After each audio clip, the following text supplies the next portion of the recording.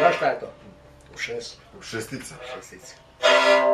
Ali ide samo tako sve do kraja.